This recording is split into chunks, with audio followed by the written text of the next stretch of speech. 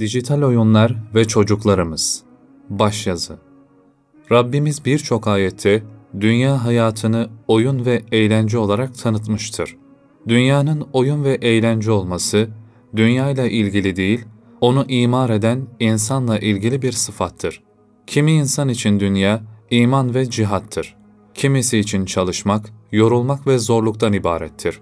Bazıları içinse dünya, oyun, eğlence, yeme içme, gezme gibi faaliyetlerden ibarettir. Dünyayı oyun ve eğlence haline getiren bu insan sınıfı her dönemde var olmuştur. Sayısız ilahi ikaza rağmen oynamaya ve eğlenmeye devam etmiştir.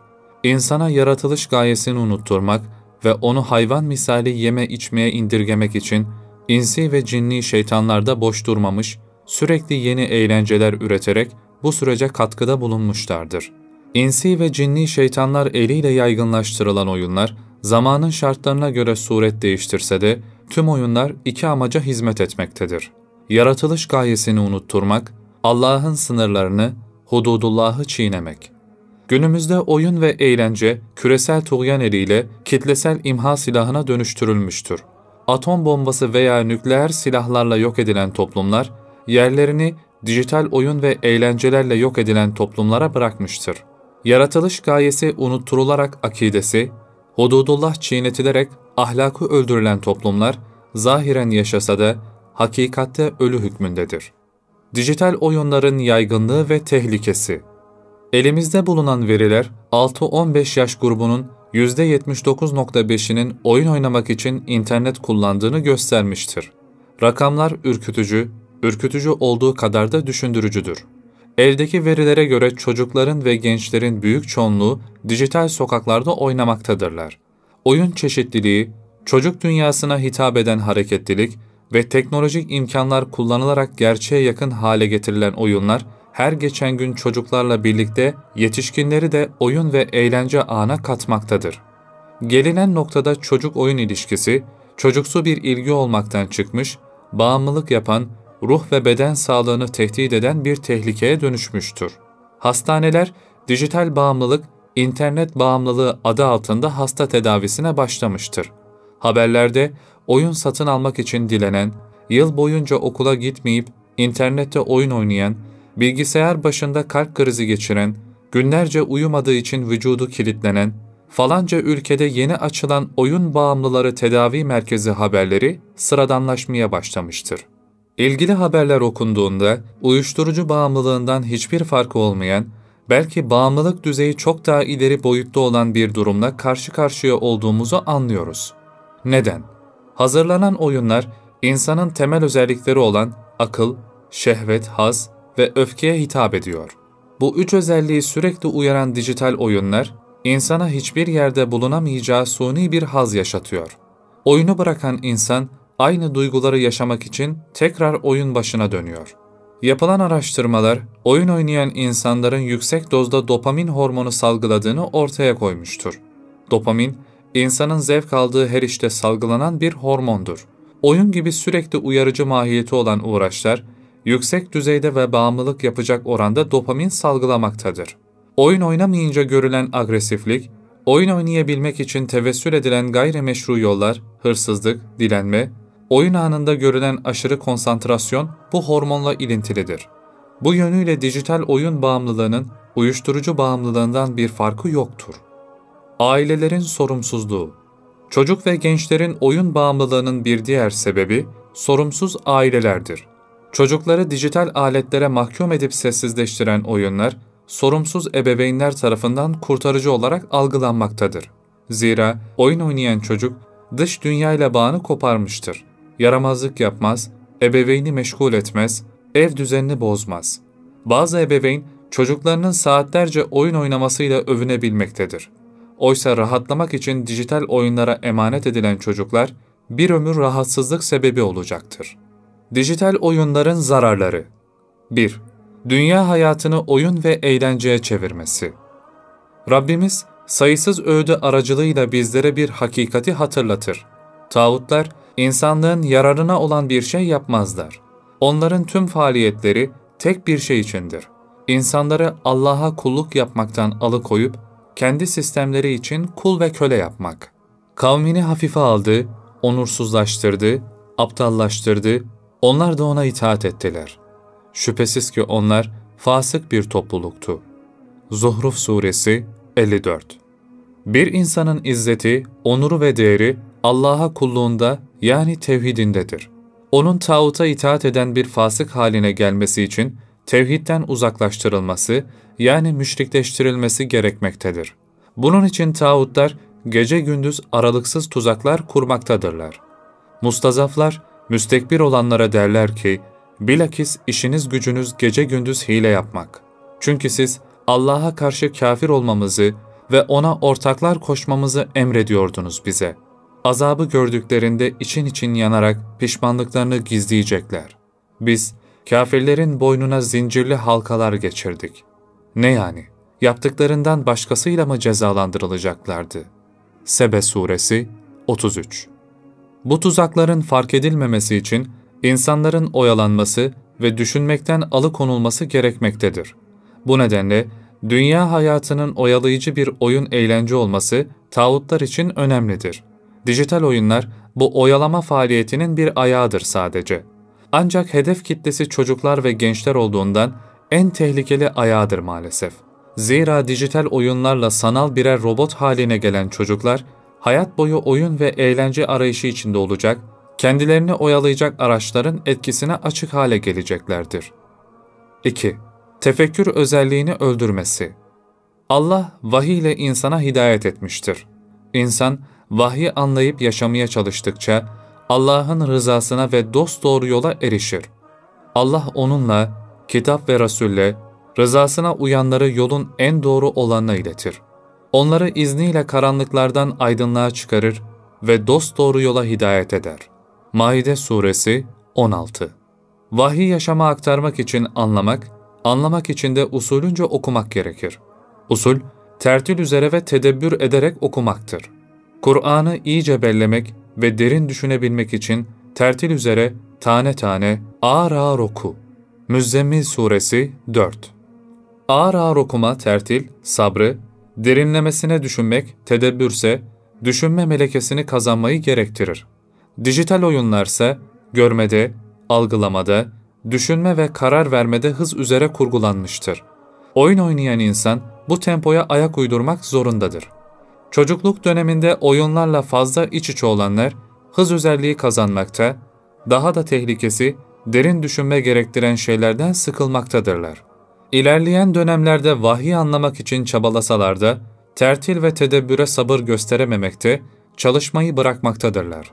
Kur'an anlaşılmasın diye çabalayan müstekbirler, tam olarak böyle bir nesil arzulamaktadırlar. 3. Kimlik bunalımı İnsan hayatındaki en sancılı dönem 12-18 yaş aralığıdır. Ergenlik dediğimiz bu dönem, arayış ve kimlik kazanma evresidir. Bu dönemde gençler için rol model çok önemlidir. Çünkü kimlik örnek alınan modeller üzerinden şekillenmekte ve bu kimlik yaşamı boyunca kişiye eşlik etmektedir. Oyunlar karakter merkezlidir. Tercih edilen karakterler oyuncu ile bütünleşmektedir. Her ne kadar karakterlerin oyuncu tarafından yönlendirildiği düşünülse de gerçek farklıdır. Tercih edilen karakter oyuncuyu şekillendirmekte, ona bir ahlak ve kimlik kazandırmaktadır. Oyunların kazandırdığı kimlik ilerleyen satırlarda yakından incelenecektir. 4. Allah'ın sınırlarını çiğneme. Allah'ın sınırları vardır.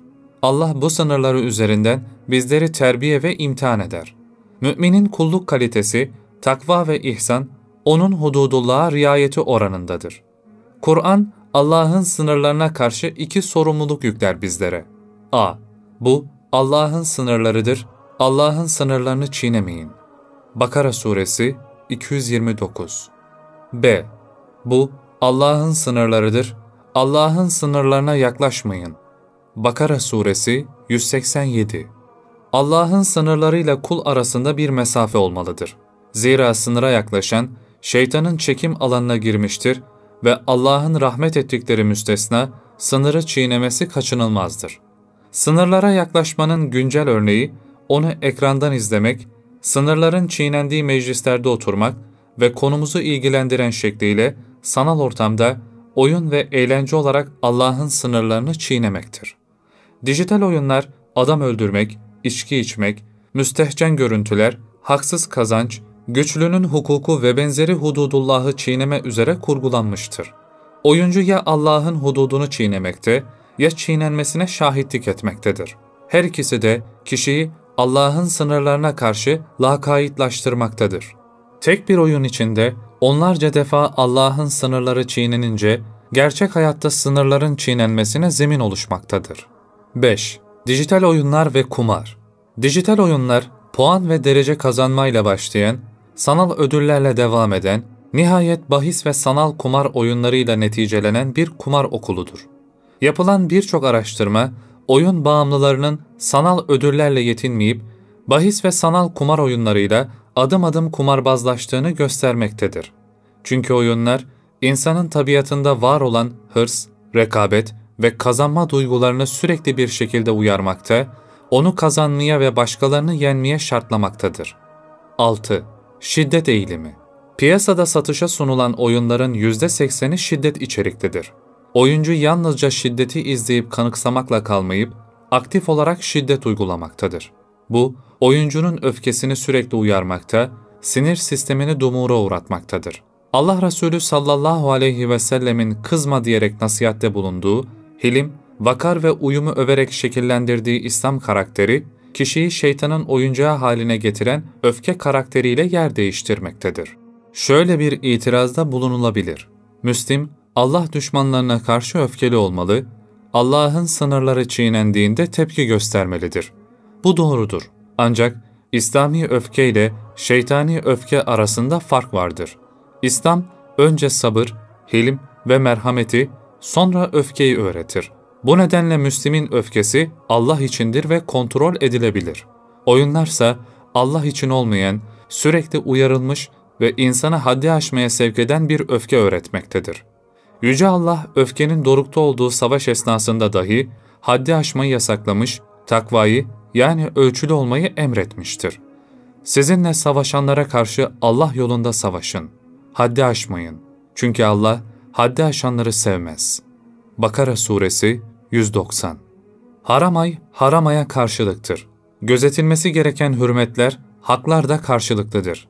Kim size karşı haddini aşar, saldırırsa, siz de ona saldırarak misliyle karşılık verin.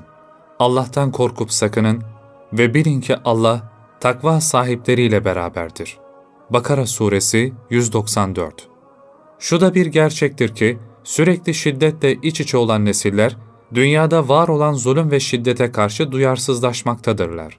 Suriye, Yemen, Afganistan, Irak, parçalanan çocuklar, tecavüze uğrayan kadınlar, organları çalınan insanlar, fuhuş pazarına sermaye yapılan gençler, her gün gördüğü on binlerce görüntüden sadece biridir ve yaşananları oyun olarak algılamaktadır. Oysa taşlara ağıt yaktıracak bu zulüm ve şiddete karşı öfkemiz, tepkimiz, farkındalığımız dipdiri olmalıdır. Olmalıdır ki zayi ettiğimiz İslam'ın yanında insanlığımızı da zayi etmeyelim. 7. Robotlaşma Allah insanı şehadet alemi içinde yaratmıştır. Onu zaman ve mekanla sınırlamıştır. İnsan hayal aleminde sınırları kaldırır, zaman ve mekanın kayıtlarından kurtulur. Sonra hakikat alemine geri döner. Böylece hayal alemi insanı rahatlatan ve hayatın zorluk yükünü hafifleten bir işlev görür. Sanal dünya ise hakikatle hayal arasındaki sınırı kaldırır. İnsana alem içinde alem yaşatır. Aynı anda dünyanın her yerinde olabilen, bir saniyede tüm zamanları düren, aklına gelen her şeyi sanal olarak yapabilen insan, Allah'ın yarattığı ölçülü ve temiz fıtratı adım adım bozar, dengesizleştirir. Hayal sanalla hakikat arasındaki dengeyi yitiren insan, hakikat aleminin sorunlarıyla boşa çıkamayınca, hayal sanal alemine sığınır. Gerçekle sanal arasındaki denge öyle bir bozulur ki, kişi her türlü dış telkine, uyarıya ve yönlendirmeye açık hale gelir. Bugün oyunlar toplu olarak oynanabilmekte, oyuncular kendi aralarında ve oyun merkeziyle iletişim halinde olabilmektedir. Fıtrat dengesini bozmuş, neyin gerçek, neyin sanal olduğuna dair sınırı kaybetmiş insan, kötü amaçlı merkezler eliyle bir robot gibi yönlendirilmektedirler. Rusya'da Mavi Balina isimli oyunu oynayan 130 çocuk bir yıl içinde intihar etmiştir. Geriye dönük yapılan araştırmalar, çocukların mesajlarla yönlendirildiğini ve iki aylık bir iletişim sonunda son bir komutla intihar ettirildiklerini göstermiştir. Sıkça karşılaştığımız bu tip haberler, sanal ortamda sınırlarını yitirmiş insanların nasıl birer robot haline getirildiklerinin göstergesidir. Ne yapmalı? Hiç şüphesiz öncelikli vazifemiz bizi her yönden kuşatmış olan modern cahiliyeyi tanımak olmalıdır. Zira cahiliyeyi tanımayanlar İslam'ın halka halka çözülmesine sebep olurlar. Çocukların önünde devasa bir zaman, içlerinde ise bitmek tükenmek bilmeyen bir enerji vardır. Onlar zamanlarını ve enerjilerini nasıl kullanacaklarını bilmezler. Çocuklarımızla ilgilenip yönlendirme yapacak olan bizleriz. Çocuklarımızı anlamaya ve tanımaya çalışmalıyız. Onun ilgi alanlarını, zevk alarak yaptığı faaliyetleri ve eğilimlerini tespit etmeliyiz. Bu konuda yetersiz kaldığımızı düşünüyorsak, bir bilenden yardım almalıyız. Çocuğun ilgi alanlarına uygun programlar yapıp, onu yönlendirmeli, onu dijital şeytanların sevk ve idaresine terk etmemeliyiz. Çocuklarımız da kitap okumalı, onların muhakeme kabiliyetinin gelişmesini sağlamalıyız. Bazen biz okuyup onlar dinlemeli, bazen onlara okutup biz dinlemeliyiz. Okuduğumuz bölümler üzerine karşılıklı konuşmalıyız. Çocukları için bir şeyler yapmak isteyen kardeşlerimizle gruplar oluşturup ortak faaliyetler yapmaya gayret etmeliyiz. Piknik, gezi, spor, ziyaretleşme gibi çocukları sosyalleştirecek, merak duygularını hayra yönlendirecek, enerjilerini atmaları için imkan sağlayacak alanlar açmalıyız. Küçük yaşta çocukların dijital ekranlarla arasına mesafe koymalıyız. Henüz bebekken eline dijital alet verilen çocuklar, belli bir yaştan sonra dijital bağımlısı oluyorlar. Ebeveynler olarak dijital aletlerle ilişkimizi gözden geçirmeli, İslami ölçülere uygun olup olmadığına bakmalıyız. Bağımlı ebeveynlerin bağımlı çocuklar yetiştireceğini unutmamalıyız. Dijital ekranların sokaklardan daha tehlikeli olduğunu bilmeliyiz. Çocukları eve kapatıp dijital ekranlara mahkum ederek sokağın ihtimalli zararına karşın ekranların kat'i zararına terk etmiş oluruz. Sokağa olmayan çocuklar dijital sokaklarda ruh ve beden sağlığını tehlikeye atarlar. Çocukların merhamet, yardımlaşma ve sorumluluk melekelerini geliştirecek sosyal projeler içinde yer almasını sağlamalıyız. Uygun proje bulamıyorsak, aile olarak bu yönde projeler başlatmalıyız.